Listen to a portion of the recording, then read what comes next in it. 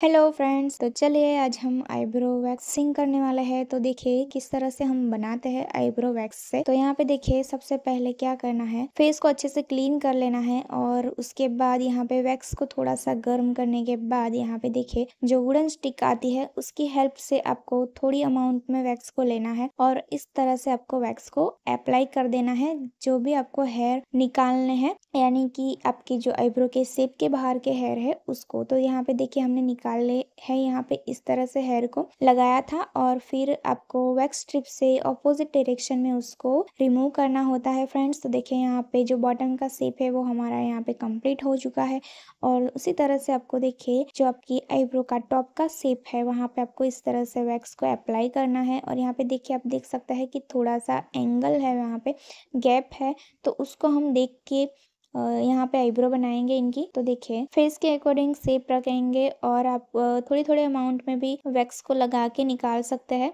अगर आपको पूरा खींचने में थोड़ा सा दिक्कत होता है या फिर डर रहता है कि आपके हेयर कहीं ज़्यादा ना निकल जाए तो आप थोड़ी थोड़ी अमाउंट में लगाइए और फिर निकालिए हेयर को। तो देखिए, अच्छे से आपकी आईब्रो बहुत ही आसानी से बन जाती है, बहुत ही इजी प्रोसेस है ये।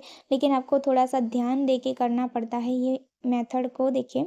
आप कोई भी लिपोसोलिबल वैक्स यहाँ पे यूज़ कर सकते हैं फ्रेंड्स। और देखिए, यहाँ पे इस तरह से आपका जो हेयर है, वो सारा रिमूव हो जाता है एक ही बारी में। और बहुत ज़्यादा दर्द भी नहीं होता है हमारे कस्टमर को। तो यहाँ पे देखिए लेफ़्ट साइड की आईब्रो भी हमारी ऑलमोस्ट डन हो चुकी है, यानी कि बॉटम का हमने कंप्लीट कर दिया है सेप अभी टॉप का सेप यहाँ पे देखिए जो है, ऊपर से हम हाफ़ हाफ़ करके लेंगे इस तरह से। थोड़े से हेयर आगे के राइट साइड के और फिर लेफ़्ट साइड के, यानी कि पहले देखिए इस तरह से थोड़ी थोड़ी अमाउंट में हेयर को निकाल देंगे।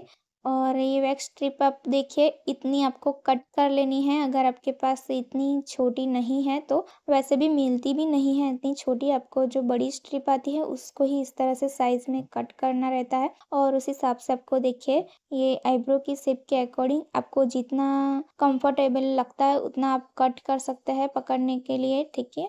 तो देखिए, यहाँ पे उसके बाद ऑयल से आपको हेयर को इस तरह से रिमूव करना है।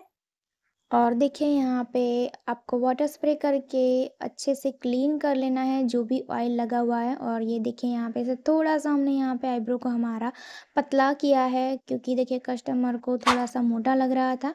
और देखिए यहाँ पे से आप गैप देख सकते हैं, इस तरह का गैप है तो थोड़े से हेयर जो उनके थे नेचुरल वो हमने रहने दिए हैं। तो देखिए कितना अच्छा लुक है friends thanks for watching my video friends video को लाइक करना बिल्कुल भी मत भूलिएगा।